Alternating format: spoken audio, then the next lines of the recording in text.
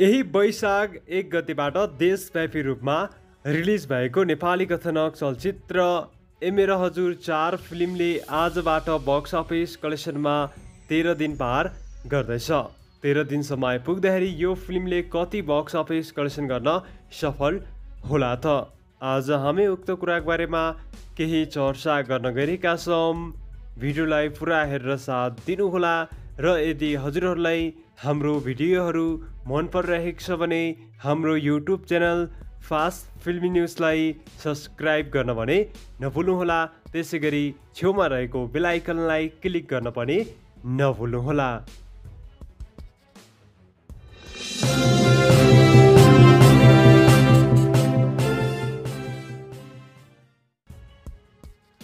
यही वैशाख एक गतिबाट देशव्यापी रूपमा रिलिज भएको नेपाली कथनक चलचित्र ए हजुर चार फिल्मले दोस्रो हप्तामा पनि बम्पर बक्स अफिस कलेक्सन गरिरहेको छ।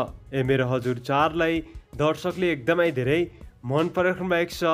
जसको कारणले गर्दाखेरि पनि ए हजुर चार फिल्मले दिन प्रतिदिन record break box office collection गरिरहेको छ। ए हजुर चार फिल्मले आजबाट बक्स अफिस कलेक्सनमा तेह्र दिन पार गर्दैछ भने तेह्र दिनसम्म आइपुग्दाखेरि यो फिल्म सुपर हिट साबित भइसकेको छ। एमेर हजुर चार हेर्नुभएको दर्शकबिनहरूले मेगा स्टार अनमोल केसी र सुहाना थापाको जोडीलाई एकदमै धेरै मन पराउनु भएको छ।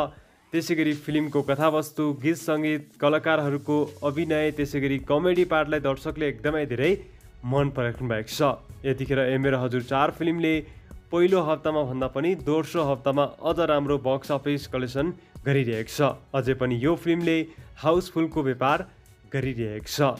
एमेर हजुर चार फिल्मले पहिलो हप्तामा चार करोडभन्दा माथिको ग्रस कलेक्सन गर्न सफल भएको थियो भने आजको दिनसम्म आइपुग्दाखेरि यो फिल्मले छ करोडभन्दा माथिको ग्रस कलेक्सन गर्न सफल भइसकेको छ र बक्स अफिस कलेक्सनमा सुपर हिट साबित भइसकेको छ।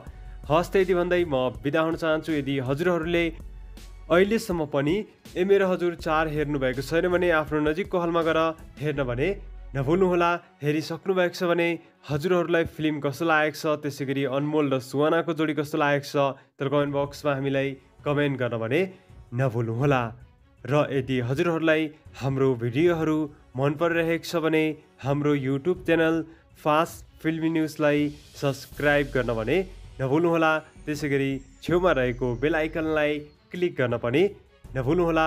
हाम्रो युट्युब च्यानललाई हेर्दै गर्नुहोला लाइक गर्नुहोला सेयर गर्नुहोला कमेन्ट गर्नुहोला। हस् त धन्यवाद।